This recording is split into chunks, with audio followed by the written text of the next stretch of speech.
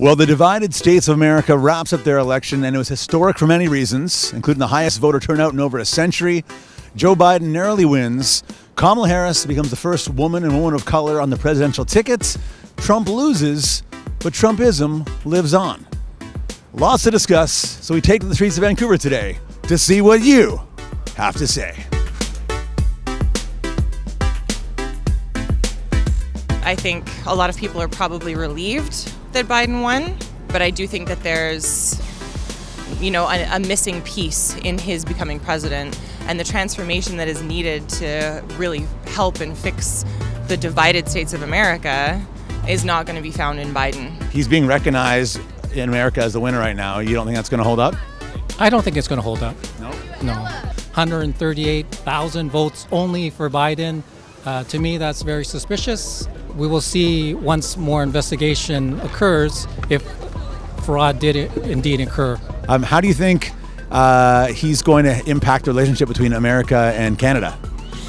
Um, it's going to be reinforced for sure because uh, Trump destroyed that by not even taking care of the things like COVID situations and also about the parliament and what's happening in the, in the country uh, is going to actually like make, definitely trying to reinforce that, trying to improve, make some new arrangements, especially trying to uh, trying to connect the dots between Canada and the United States. When you heard the news, what was the first thought that went through your mind?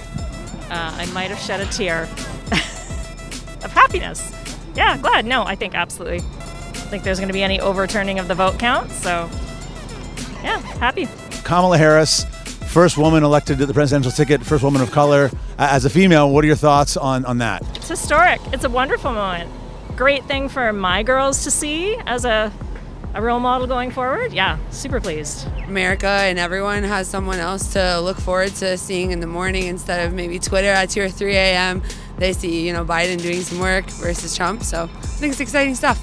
One thing that he has announced so far is that he would rejoin the Paris Climate Accord, which would be pro environment, something you mentioned there. Yes, that's very important.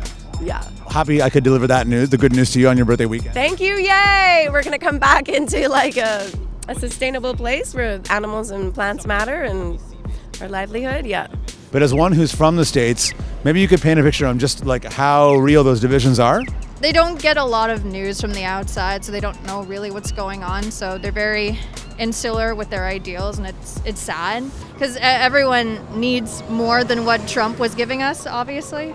Now that Biden's been officially voted in, do you think he's going to be able to unify the country a little more? He's still pretty centrist, honestly, for a Democrat. So maybe there's a lot of Republicans that actually liked him back in the day. So he he might be able to like I don't know, bridge the divide a little bit.